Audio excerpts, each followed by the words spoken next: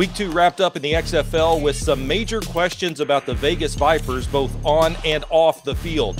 Some really bad optics here for the home opener against the DC Defenders Saturday night. Now, there have already been concerns about Cashman Field as the home of the Vipers, and I covered the history of that stadium on another video here on my channel. But when the crowd looks like this, it seems that really all the naysayers just could add more fuel to the fire that this thing really might not work in Vegas. Now, there's been a lot of hand wringing about attendance and ratings. And maybe this is some overreaction as we are just a couple of weeks in, but you know, some teams have yet to even play their first home game. But this one for the Vegas Vipers, honestly, just looked like a disaster. All right, well, maybe I'm overreacting to what I saw on Saturday night. So let's bring in Ray Brewer from the Las Vegas Sun.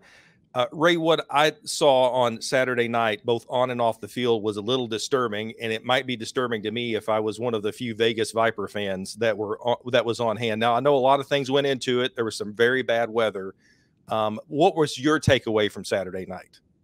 Well, I, I think I, I, hate to say this, but the XFL's return to Las Vegas was dominated by uh, a, a, rainstorm. Which, if anybody out there is familiar with Vegas, uh, we don't get rain all too much. right. So the probability was definitely uh, not for that to happen. But I just think that Vegas could not do anything offensively. They were arguably outcoached, um, and it was an ugly loss. And I think they envisioned, you know, a packed stadium and a perfect, almost spring weather day.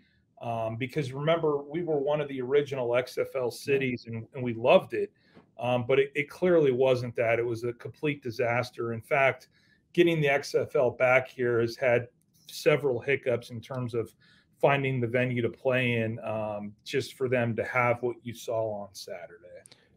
An announced crowd there of 6,000 people. And I mean, that might have been generous, especially after halftime. It, we, you mentioned Cashman Field there, Ray. I know that wasn't the first choice for the XFL. I don't think it was the first choice for for anyone to have a football team there. Um, is it going to be the right place uh, for the Vipers? Will this will this thing catch on? So Cashman Field is like our initial stadium, and it was built in the, the early 80s and it housed a AAA baseball team affiliated with the Padres. You know, I could tell you I was in the second grade and Kevin McReynolds hit a home run off the scoreboard. And we all have a great story from Cashman Field, but throughout the decades, it's just become outdated. It needs a it needs an overhaul. And the minor league baseball team finally got a new stadium in Summerlin, a nice area town. It's like a big league stadium with a minor league team and a United Soccer League team, uh, not as good as the team in Louisville, but came in and and it was it was perfect for them. It's kind of a an area with a lot of Hispanic families. It's near downtown. It's pretty walkable, um, and it it was perfect. So the Vipers couldn't find anywhere to play. They were hoping to get a crack at Allegiant Stadium, couldn't get it done. They were looking even at Bishop Gorman High School, which is a, a very nice stadium in Summerlin. It, it's like a a, a D2 college, very nice. And you know, Gorman basically said no because there was no the parking just wasn't going to exist. And so Cashman Field was kind of a last resort for both sides. And if that place is packed and if the weather's okay, it's a decent night. But what you saw on Saturday was kind of the, the, the worst of the worst. And, you know, unfortunately, we in Las Vegas, we support winners. And if you're 0 2 and you're an ugly 0 and 2, you're going to have some problems, and um, it, it is what it is. Ray, when you you're right. When you look at this team, they are last in every statistical category that there is, uh, and you know, offensively and defensively. Um, so it feels like they're kind of starting from behind the eight ball here. That I, you know, it's almost like a snake bitten franchise uh, to start off with. You know, they struggled in in the first game. Um, they had that, and then obviously really struggled in front of a bad crowd. It's just, I mean, I don't want to be a fatalist here because, you know, as you mentioned, you and I remember the Las Vegas Outlaws and what, you know, and how awesome that was to see them play at Sam Boyd Stadium and, you know, just how everybody gathered around that team and, and really supported it. But here we are two decades later, and I'm I'm starting to wonder is is this I mean, is this even going to last? Yeah. So one thing with the Outlaws is I remember their first game, like 2001 or two, right. or I think 2000. 2001, yeah. And I was in the press box that day. Don't want to hmm. share my age, but and I remember Dana Harvey or Carvey sitting right next to me. right. I was I sat literally I sat next to the guy the whole game. And it was just a packed crowd and a cool concept and um, you know, it was just a fun night. It was one of those like all-time Vegas sporting moment nights. And with Vegas, we've always known that we could host the one-off events, right? Pro Bowl, sign us up. Yep. Mayweather Fight Night, we're here. UFC, same deal. Uh, cool concert, that's Vegas. You know, a NASCAR race, rodeo. We've we've mastered hosting those those events that come in out of they bring great revenue all the cocktail waitresses and valets, you know, have have, have good money that day. The one knock right. was, can we do it for an entire season? And then the Golden Knights come in, and it's a perfect marriage. It's our team. It's not an expansion team. It's a week after this awful mass shooting in our town. They're playing for us, and we love this team. And then all of a sudden, all these other sports leagues are like, "Whoa, look what the Golden Knights did. We got to get to Vegas." Um, Vegas is tax friendly.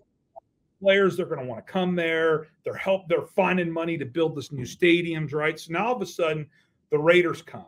The A's are thinking about coming. NBA, everybody think is going to happen, right? We got a WNBA team that won the championship.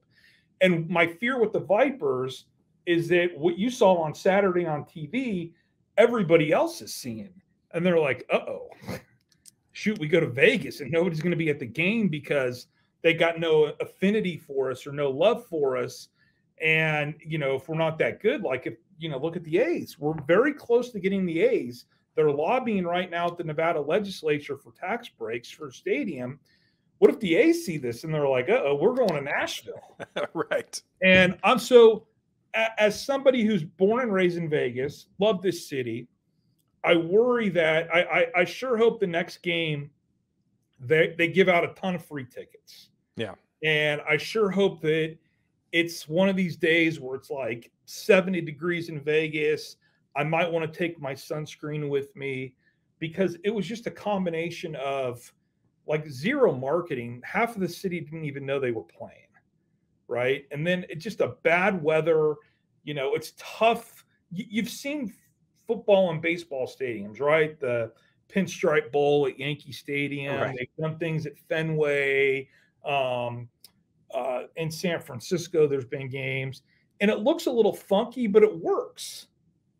And this this not only did it look funky, it just really didn't work. And then yeah. you parlay the weather, and then the team was just so bad. I mean, DC, I think uh, they ran the same two plays basically the entire second half and there was because zero, it kept working, right? yeah, and there was zero like ability for Rod Woodson and his staff to kind of identify what was happening to change things up to stop it. And you know, you've seen glimpses of, of Vegas playing well, right? First game, yeah. they had a great drive to start. The quarterback looked like he was, you know, going to be in the NFL tomorrow. He's going to replace Rodgers with the Packers.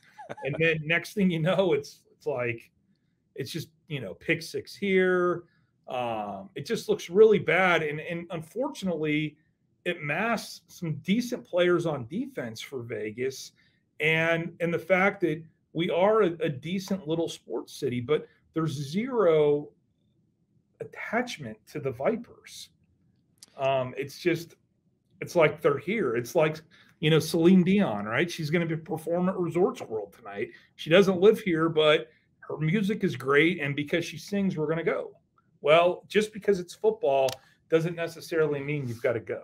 It's not a football team in residence there that uh, that's really going to draw the crowd. It's yeah. you know you brought up you brought up some good points there, Ray, because you talked about how people started these teams and franchises started and continue to start to flock to Vegas. To me, it felt like the XFL wanted a team in Vegas so much they kind of shoehorned it in. Like we're going to say there's going to be the Vegas Vipers, and now we're going to try to find a place to play and this really has just uh, it didn't start off the right way, and it does not two weeks in here at least doesn't look like it's going the right way. Yeah, and and and that's the thing. If if they could have got the team in Allegiant Stadium, it would have been okay. Yeah. If they even went to Las Vegas Ballpark, which is where our AAA team plays now, that would have been okay as well. But to basically go to your third option, a local high school, granted, National Power has won national championships and darn fine facilities. Okay, it, it's it's a little entertaining, but you'd sell that place out. Um, Cashman Field is it just it just it looks even worse when nobody's there. And then you pat you factor in the rain and just an ugly game, and the end result is you know what, what we saw unfortunately on on Saturday. Well, you know, you you and I have beaten up here on on the Vipers. Do you have? And although you you mentioned yeah, Rod Woodson and that and his staff just didn't seem to figure it out in the second half. Uh, do you feel like that they can? Do you have any kind of optimism here that they can turn this around? You know, they brought in Brett Hundley, who'd been like with the team for two weeks, and he ended up having to play in the second half. Can can they figure this out and maybe turn this into something that everyone in Vegas wants to come see? Well, I, I do like Brett Hundley. Um, he he's got you know great experience in the NFL, and he's I I just think the game is is probably a little too fast um, for for Luis Perez, and I, I would like to see Brett Hundley get a chance with with ideal weather conditions because he does have that NFL experience. He backed up Rodgers with the Packers for a while, um, had an above average career at UCLA. He's a pro. Um, but regardless of who the quarterback is, they got to find a way to rush the ball. And right, who knows if if if Rod Smith is a good running back or not, because the guy's only carried the ball like 10 or 11 times in two games. And the, the, the, the old adage in football for me is you got to run the ball, right? You run the ball to win and you pass, or you run the ball to whatever the adage is. somehow, run to set up the pass is what a lot of coaches always. Yeah, yeah. But nevertheless, the the running game is non-existent, and yeah when you have an ability to constantly and granted they've been behind so they've been playing from behind yeah but when you when you're constantly passing and the defense is just rushing the quarterback over and over and over again and you can't complete a pass like i do think the xfl for all the like minor league pro football franchises and I, I guess it's fair to call it minor league right I mean, it's it's not the NFL. I think we can all agree on that. But I think I think that actually is one step beneath the NFL, mm-hmm. whereas like the other league that's going on probably isn't as good. And I think Luis Perez might have had success in that league, but the game got a little quicker in the XFL, and that that that small difference was is is visible on every play. I think you know, after that first drive in week one, he got figured out pretty quick. And Las Vegas has made zero adjustments from what I could tell. Not not a football coach, right? Um, but from an outsider looking in, um, they just they look painfully unprepared.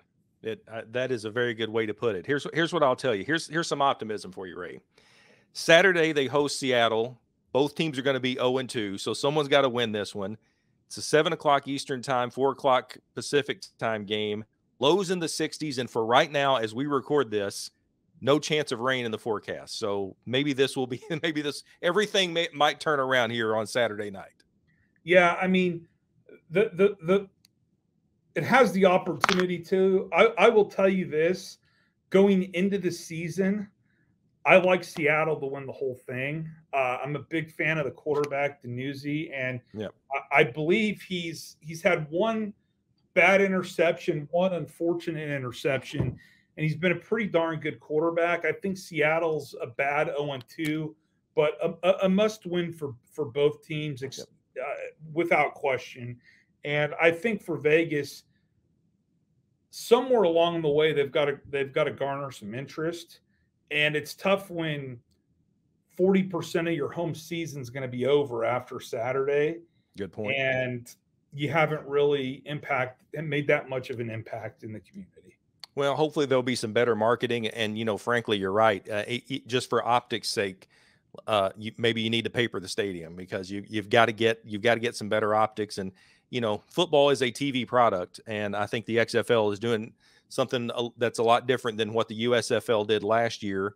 They're trying to make this a traditional league with home fans, and you know, maybe, maybe it can work, but uh, we'll see what happens on Saturday night. Ray Brewer from the Las Vegas Sun, appreciate uh, your time, and uh, we'll be looking forward to reading you and seeing how how we uh, how these Vegas Vipers turn out. Will they be a success or or maybe or maybe continue to be a disaster?